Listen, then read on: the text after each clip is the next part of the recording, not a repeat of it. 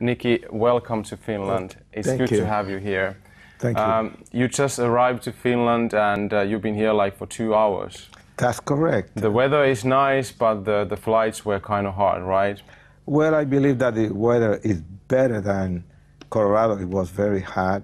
Yeah. Uh, New York went over the 100 degrees of it was the heat was very strong in New York so Yeah. it's good to be in Finland Yeah, well, especially welcome. in Helsinki Yeah, yeah, yeah. Um, what is happening in your ministry right now? Well, I have been traveling extensively. I just got in from. I don't want. I don't want to waste my time in talking on all the crusade, but uh, one of the greatest crusade was in Australia and New Zealand, especially in New Zealand when I had to deal with uh, the gang leaders and then meet for the first time in history in, a, in, in a common place where I can talk to them and, and bring it, it what you call a truly a truth and uh, it was in a secret place. The, the media could not be there, and then tried to find out what happened, and it, it, lasted about three hours. And then I, I then it was packed. The stadium was packed, and I, I spoke to the Parliament in Australia. Mm. So in New Zealand, it was uh, it was a national type of thing. Yeah, so you so you spoke to the parliament. What happened there? Well, I, I, I, I, told him about the situation. I believe that, especially in New Zealand, I told him there's a new drugs coming in, but the worst problem is that the young people want to immute or they want to imitate the, the United States uh, rappers and, and hip hoppers and, and the, uh, the lyrics and the music is not the best right now in the United States. Uh, Nicky Cruz, when we do evangelism and we reach out for the people, how can we win? How can I win the negative emotions that I might have concerning that issue? In, in the area, so Yeah, when I'm reaching out to the people, but my, my emotions are fighting against that. Well, I think it all depend about the culture. I think uh, if you're dealing with the United States, we're more of a expressive, uh, more emotional in our presentations, and uh, uh, perhaps you're more conservative and, and many times more shy. Uh, we believe in the aggressiveness of the gospel of Christ because the situation that we are living is is very precarious. It's very uh, complicated, and and that have been the situation uh, that Christianity have come into a place that other religions are coming more stronger, and we have become more passive. So we have to change the, the situation. Perhaps if you don't be careful, I, I believe the Scandinavian country in 20 years they become Muslim. Yeah, yeah. That the way that that the way Europe is looking into more of uh, uh, a, a, a different a different culture society. Yeah. Well, that comes to uh, next question is that when I'm doing evangelism, how can I overcome the fear that I have towards people? What comes maybe to, maybe to other cultures or other other nations or just my neighbor? How, how can I overcome the fear? I, I don't think I don't think there's nothing different. I, I do I do believe that the same passion that was Mm. in the beginning of the church in the book of Acts, I do believe that what Mm. that, that we we I believe that right now we don't have no other no other alternative but to really believe what the Bible say and walk through the pages of the book of Acts uh, and see the, the wonder and the miracle that we are missing in our life. And the, and, and the reason why is because we are shy, we, we, we, we, we don't push it to the next level, mm. and we are not getting out of the boat and touch the water. Mm. I think that's, that's the problem that I see. Mm. How can I reach out to the people? What are the ways to reach out and win people, a lot of people to Christ? It's it, it almost almost I can feel that you got it. The thing is that you have to express it, hmm. and and don't lose the opportunity. Uh, for me, it's more easy because perhaps I, uh, I have written 15 books, and people are, are aware of my hmm. life. So I hmm. can see your point, but I believe that that young people is the answer today to really for the new revolution where there's no restriction, Yeah. but forgiveness, uh, mercy, the grace of God, and the love of God in us. Yeah, that's exciting to hear, and uh, we are really waiting for the revival here in Finland. But there are many people who are just waiting for the revival. What else should they do than just wait? I, I do believe, honestly, that the young people, they are, they are searching, mm. and the vulnerability is the problem here. Mm. Uh, when you are vulnerable, there's a lot of things that you can get into, from mm. drug, from sex, from everything, whatever, whatever, whatever going in, in our society. And, and, and, and, I, and I do believe that can be dangerous. In the United States, the problem that we have is that not only the, the young people have been total going so, so bad in, in many areas, but there's a lot of young people that they are really a witness for Jesus Christ too. But the problem that we have in, in, in the state is the children. Hmm. I never have seen many children get killed hmm. in our country like it's happening. Hmm. That they are disap- disappearing, just like it happened in, in Portugal with that little girl from from uh, United Kingdom. That's very sad. Uh, you come from a background that you lived in Puerto Rico and then you moved to New York. I like that way that you say Puerto Rico. Puerto Rico, yeah, thank Okay. you. Uh, um, you lived in a very dark world in your young young years. Uh, what was the key issues that turned your life? Why did you give your life to Christ? Well, uh, it's, it's true what you're saying. It's, it, it was one of the darkest moments of my life when I was a, a little boy, when I lost my innocence. Uh, mm. uh, I do believe that when I was a little boy, I did love my, my parents, my, mm. Mm. my mother, my brother, my, my father. But when everything turned around, my father was a satanic priest and my mother was a witch. So there, there, everything went, went against me. I, I was born to be a loser. Hmm. And my mother told me right on my face, hmm. you are nothing, you are no good for nothing. I, uh, I regret and I curse the day that I brought you into this world. Hmm. You are not my son. Get out of my life. Uh, she beat me up so many times physically that that I, honestly I never felt that physical pain anymore. But I could never shake or break the emotional pain. Hmm.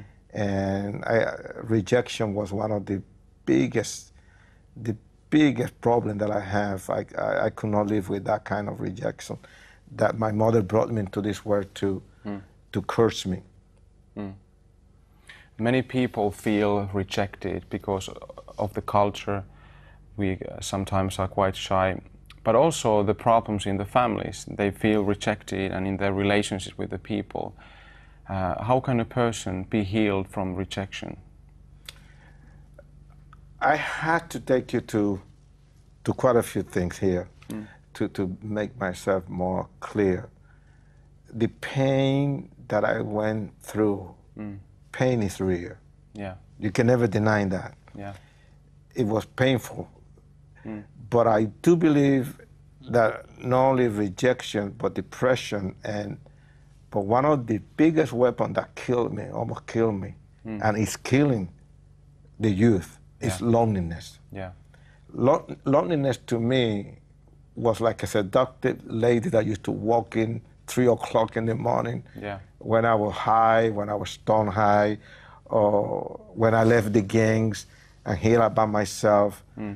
And loneliness used to press so heavy on me that many times I, I felt that kind of very, very real feelings of committing suicide. Mm.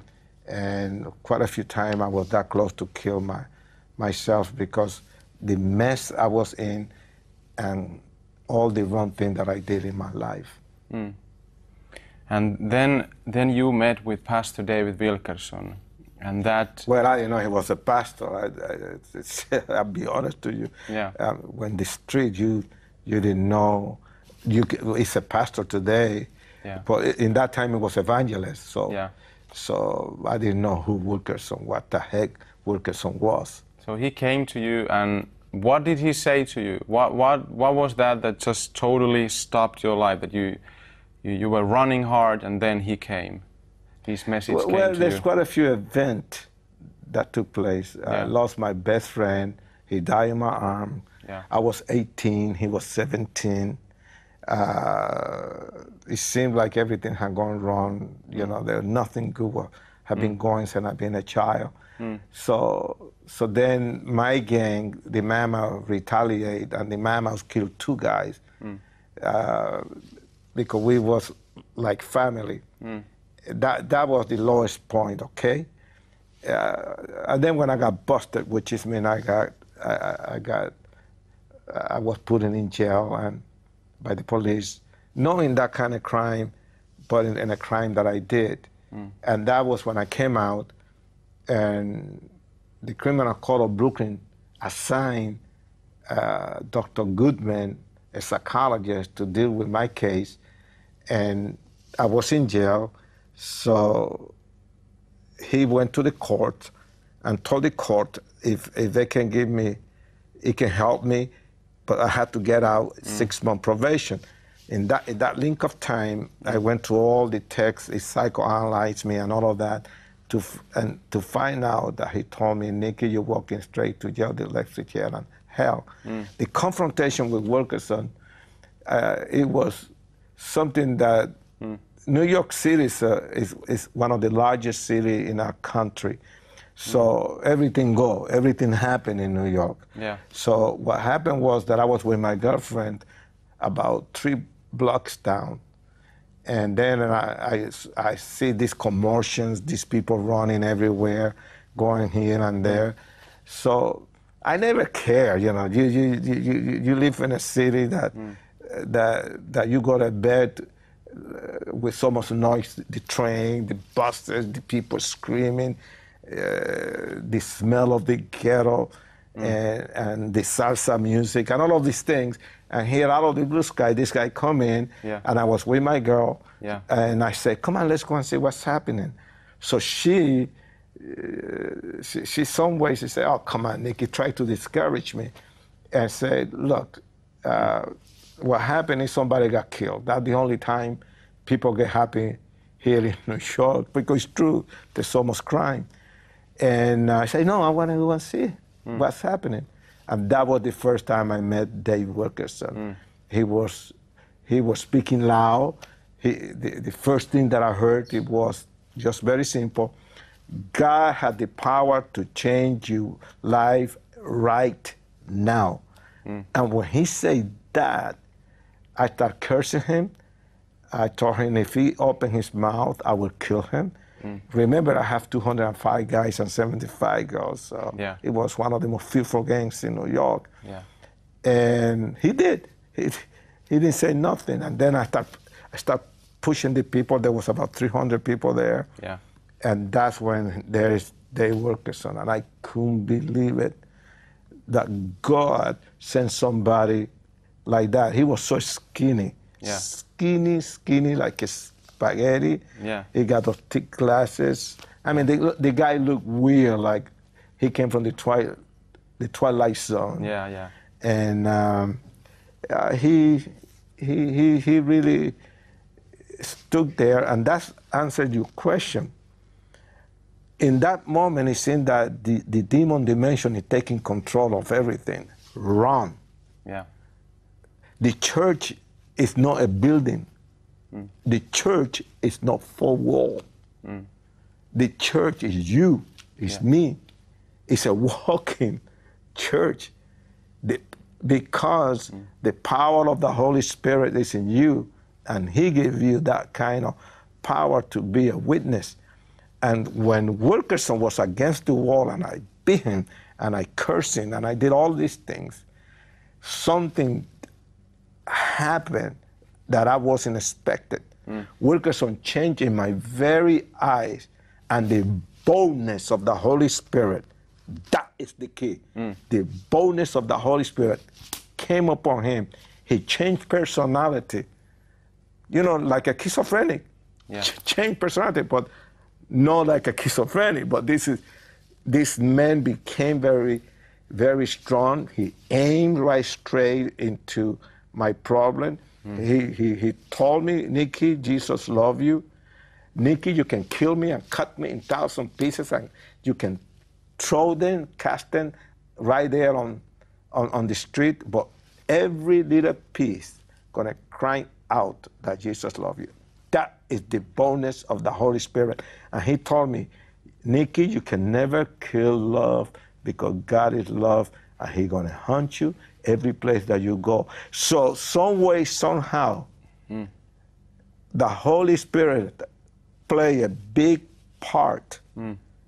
in every person that is available and vulnerable for the Holy Spirit to do anything, and that's what Wilkerson did.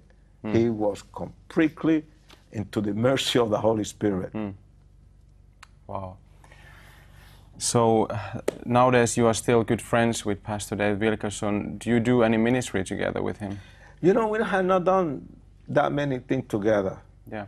I think maybe because uh, was schedule, I, I travel extensively more than Dave. Yeah. And um, my ministry is more for salvation. I, I, the, the attraction is for those who don't know Christ. I don't, Yeah. I, I, I- I don't know. Right now, uh, there's going to be a, a, a, movie coming out of my life in, from Hollywood. It's a secular, but with the message of Jesus Christ. And, and uh, I just right now was in Hollywood dealing with the scriptwriter and all of this. And that's going to be another way to, to, to bring the gospel because the conversion is going to be that Christ, Jesus Christ, was the one who changed me. So there are a lot of things that is not in the cross on the streets play, but that this is it's, it's more or less more than Run Baby Run. There's a lot of stuff. So th- th- there's a lot of things how to really evangelize. This is not going to be just uh, a cheesy movie. It's going to be very, very strong movie and well done by one of the biggest company in, in, in Hollywood. Yeah. Well, as a Christian, uh, there can be moments where there's an opportunity to um, tell the gospel to your, to my friend or something, and sometimes I feel that as Christians we might be afraid to, to really strongly tell about the good news or heal for the sick or cast out the demons. We are kind of like thinking just in our in our minds that we just need to be a little bit calm and you know respectful and that kind of thing. Is that the wise way to go? Should we do that always, just to be wise and look good and handsome and everything? Well, I, I, I, got, I got a feeling here that you're speaking for many Christians and many youth as you speak for yourself. I believe that your questions are um, very novel. I, I do believe that the, the hunger and the question that you have, you are not the only one who have that. Uh, in the beginning, when I got converted, it was very hard, very hard for me to express myself. But then this boldness come in that you are not afraid of nothing. Yeah. Uh, because I didn't know the Bible in that time either. Uh, but I do believe that you have to come out. You got. To, you cannot allow people to influence you. You are here to influence people. Yeah. You are not here that people change our, our value. We are here to change the people life so the values can change. And, and the thing is that we got to go to the simplicity of the gospel. I am not ashamed of the gospel of, of Christ. Uh, uh, and, and, and, and through all of that, uh, you never know, you never know how the Holy Spirit can take you when you feel that you're shy, when you when you go to somebody who are hurting so much, hmm. and you come just like a lot of people want to see prophets and all of this. Hmm. You can be the answer for that person, because if you come out and you begin to share Jesus hmm. more, you become more free and you can go to the next level. Seriously. Yeah, Nicky Cruz, what if I would tell you that, uh, of course, I will do an evangelistic event, but I just don't have the money for it? You don't have to. You don't have to go ahead and go to auditorium.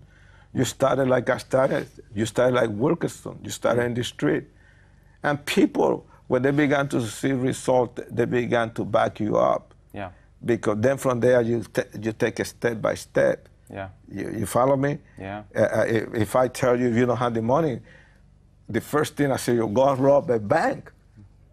But that's it's against your convictions. yeah, But you started the way God. The Holy Spirit always will open door. It is the anointing of the Holy Ghost in you. yeah, It is for you to believe mm. it can happen. Mm. It is for you to really believe you are not different than the apostles. Hmm. You can walk through the pages of the book of Acts and signs and wonder will happen. It's happened in my life. Hmm. It's happened in many.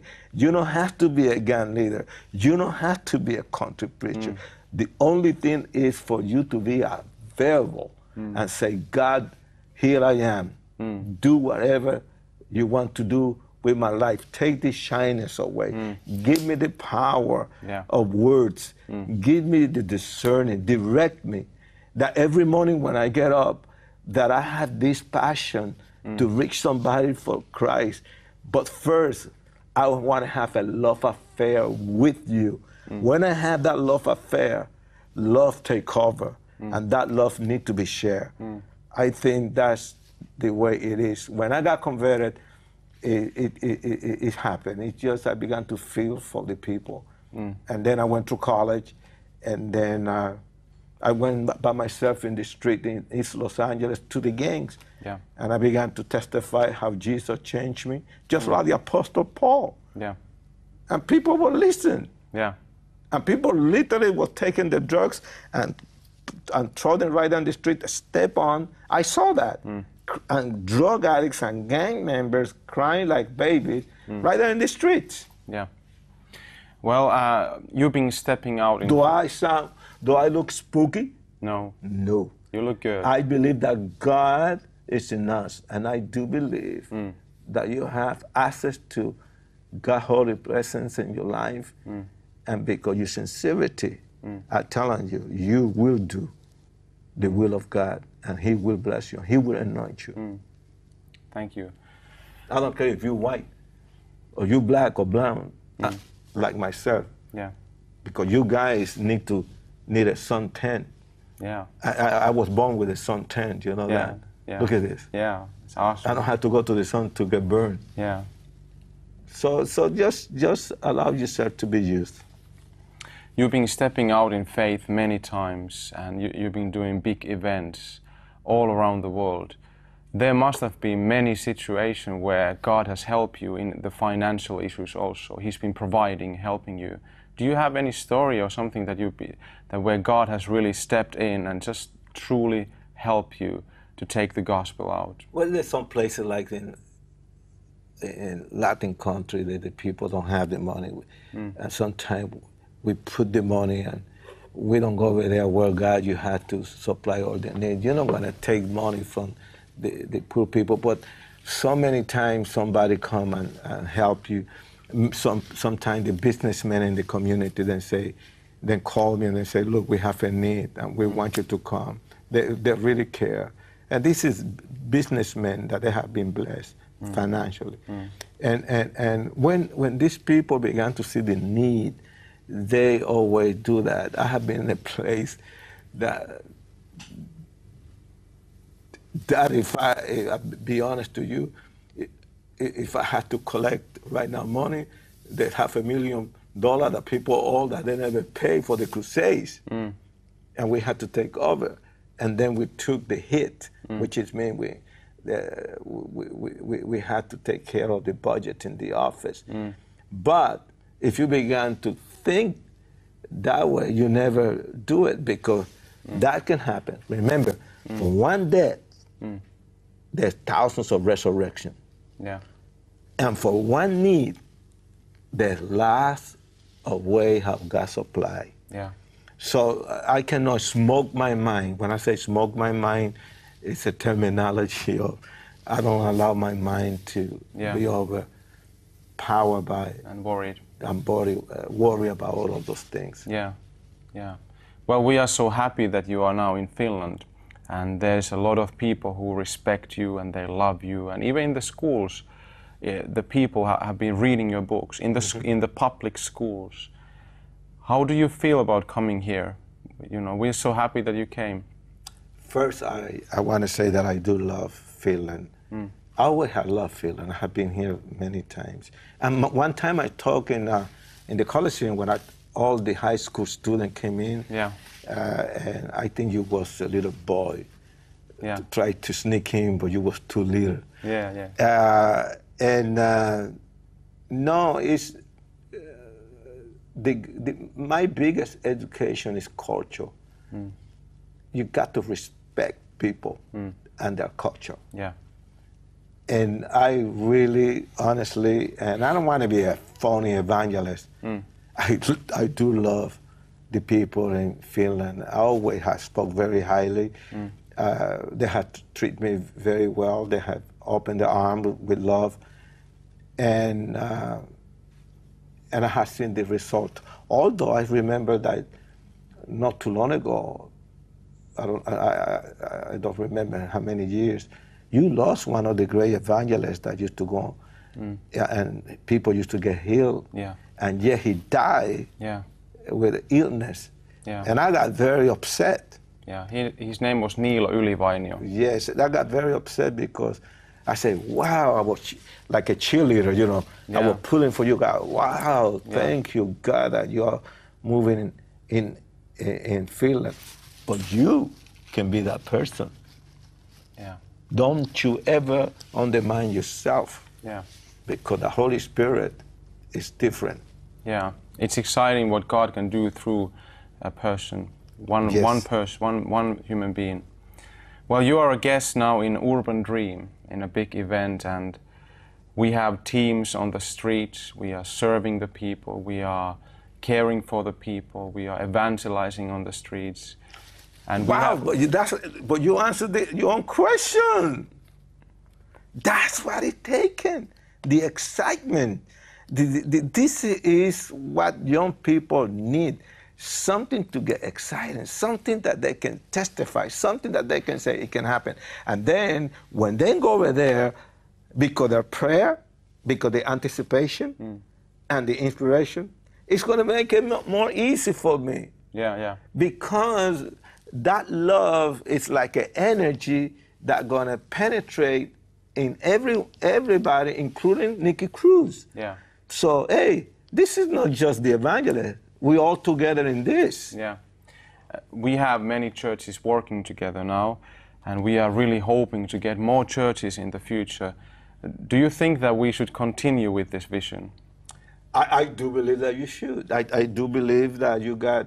You, I pray that God develop new evangelists in this country, mm. that they can take it Yeah. to that level that in, that, that Finland mm. need. Yeah. I do believe that that that this country is ready. Mm. I of all the countries from Norway, uh, Sweden, and Denmark, you got you got a heavy chance because you people are more open for the Holy Spirit. And, and, and there's a lot of people in this country that love Jesus Christ. The only thing is that you got to be more aggressive in share the gospel of Jesus Christ, or in 20 years the Muslim take over. Yeah, yeah. Well, uh, Nicky Cruz, can you please uh, talk to the camera? There might be many viewers who would uh, like to give their life to Jesus, and maybe you could, you know, pray for the people who are watching this program. And thank you for coming. And you know, I, believe God would like to help many people who are watching. Sure. I just I just want to say that in my life, I I, I- never thought uh, that I'm gonna come into this position or this place that I am today. I am the first one who's gonna tell you I was lost. I was Mr. Nobody. And I never thought that I'm going to have a chance in my life. The brutality of loneliness almost killed me. And I knew that my hand was so full of blood. And I knew that I hurt many innocent people and my gangs, and there was people who got killed. And I knew that when you are alone there, you have to deal with two words that are always going to haunt you, and that is guilt and shame. And that was the thing that hurt me the most because I was guilty of many things. I raised my hands and said, Yes, I'm guilty. I was guilty. I was ashamed of who I was. I was ashamed of my mother that she was a witch.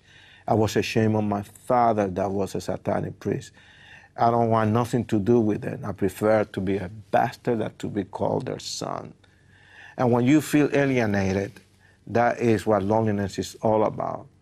That is when you are so vulnerable to commit the biggest mistakes of your life.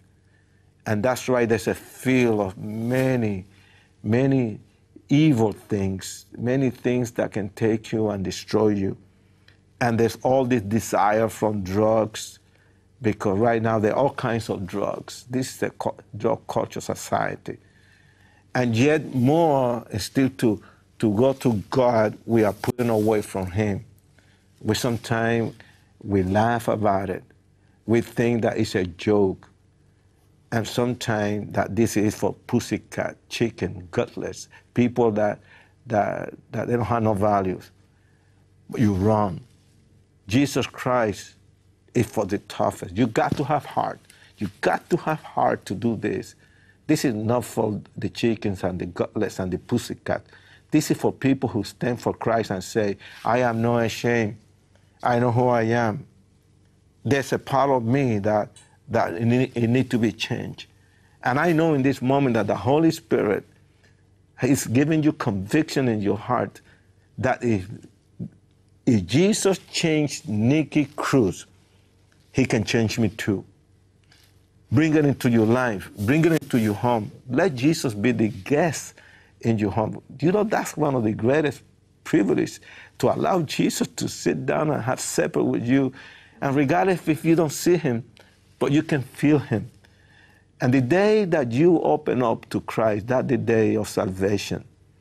And I tell you one thing you got the energy to do it. You have the vulnerability to open your heart.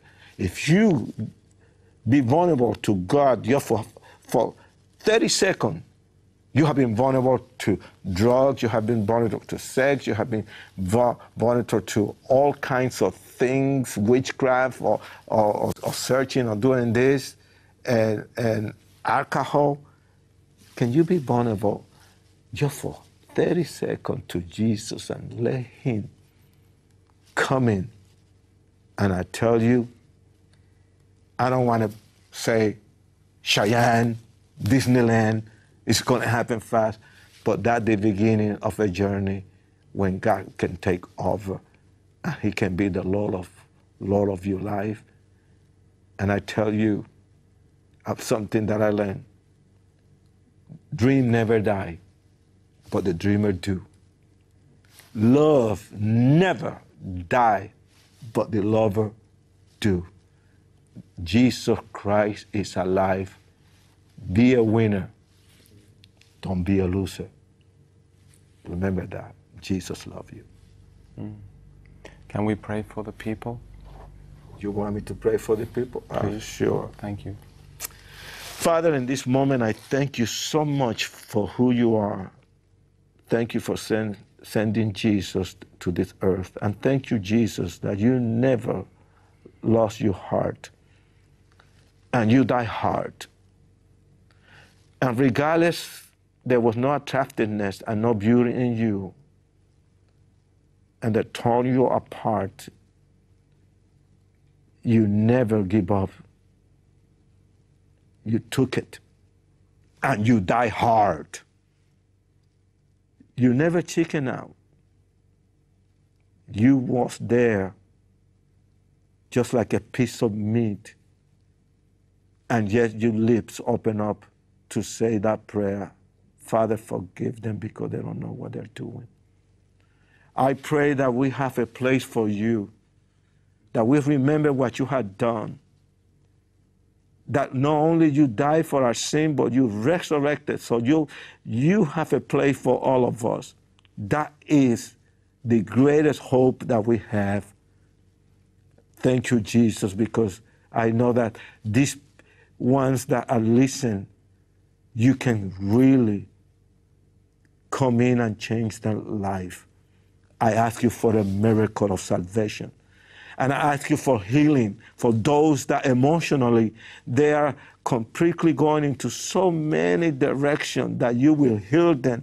I pray for the sick that you have the power right now to experience not only salvation, but the healings of the Holy Spirit in their body, mind and soul and spirit. In Jesus' name, amen.